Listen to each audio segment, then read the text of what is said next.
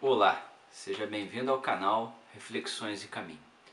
Hoje a gente vai responder a pergunta da senhora Maria do Carmo.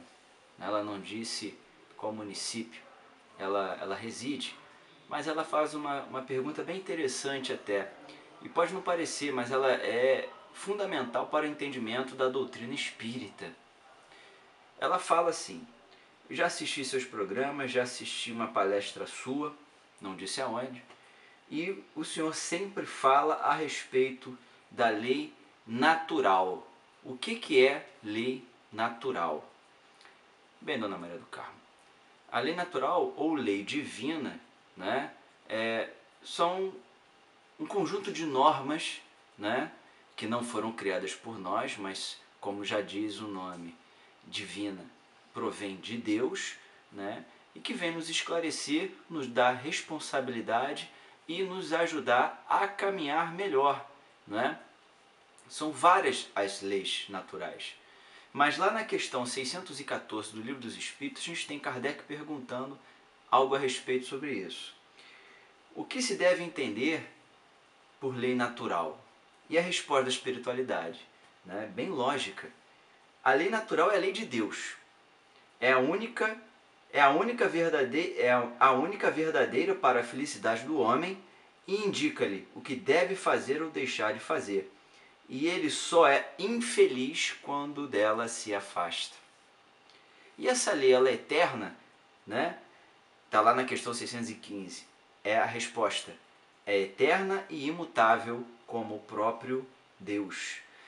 Está lá no, no capítulo né, 1 da terceira parte do Livro dos Espíritos, das leis morais, onde a gente vai ter, por exemplo, a lei divina ou natural, que é a explicação dessa lei. Depois, capítulo 2, da lei de adoração, da lei de trabalho, lei de reprodução, lei de conservação, lei da de destruição, lei de sociedade. A gente precisa estudar bastante esse capítulo, né? Lei do progresso, lei de igualdade, lei de liberdade, lei de justiça, de amor e de caridade. E a última das leis morais, lei da perfeição moral. Ou seja, são 12 capítulos que estão inseridos detalhadamente na parte terceira do Livro dos Espíritos. É claro, a gente tem que estudar mais, né? e aplicar o que nós estudamos no cotidiano. Então a pergunta da Dona Maria do Carmo não é uma pergunta vã.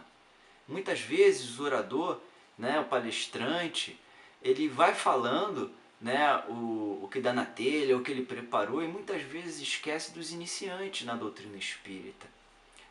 Essa é uma terrível falha que leva, a meu ver, à perda de adeptos da doutrina espírita ou induz o, o neófito na doutrina espírita né, ao erro. É esse o que nós mais deve, é isso é o que nós mais devemos combater, né? Todos devem ser abraçados, esclarecidos dentro das suas limitações e das nossas limitações também. Então, Dona Maria do Carmo, a resposta é essa. A lei divina ou natural, ela provém de Deus, é uma lei imutável, é uma lei que nos rege, querendo ou não. Curta, compartilhe, se inscreva no nosso canal e mande para nós a sua dúvida. Tem o nosso e-mail que é, que é publicado, tem a página no Facebook Reflexões e Caminho, tem o blog chamado Reflexões e Caminho também. Então aguardamos a sua participação e até o nosso próximo episódio.